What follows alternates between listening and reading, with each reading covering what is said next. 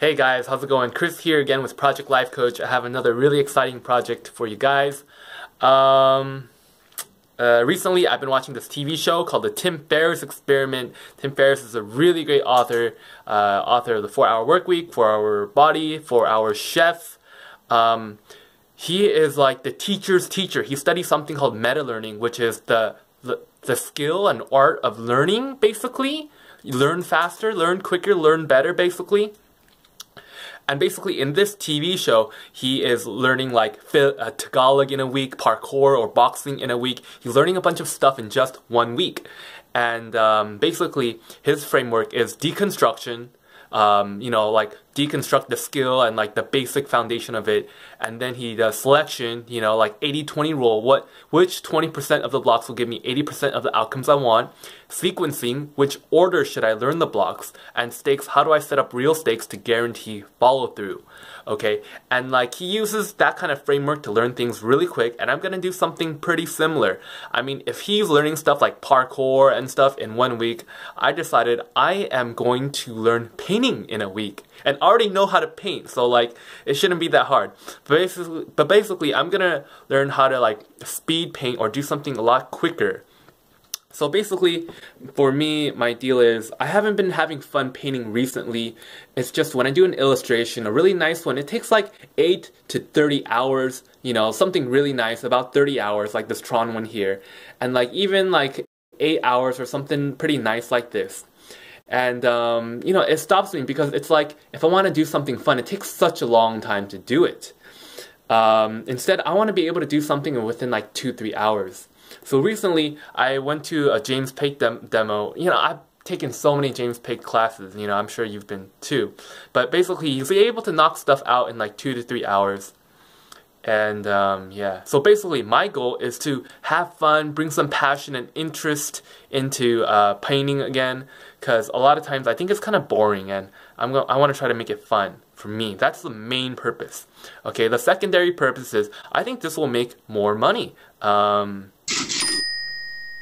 a client once told me like some his some of his illustrators charge like fifteen hundred dollars a day, and he thinks that's cheap because this illustrator is able to create three paintings in a day. You know, so I'm like, wow, you know, I should be able to do that too.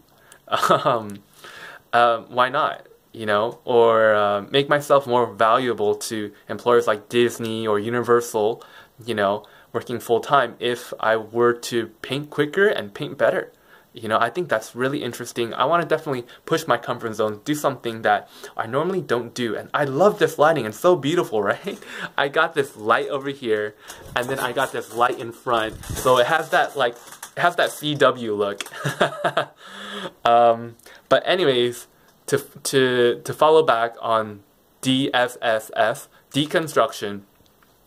So basically, I am going, there's many ways to paint. I'm going to be using the James Paick method, which is first you do like the sketch, and he basically just does um, 30 minutes, about 30 minutes to do these sketches. He does a line drawing in perspective and stuff, and he just does compositional studies, okay? And he does research, you know, PSD, uh, all his images on a separate file.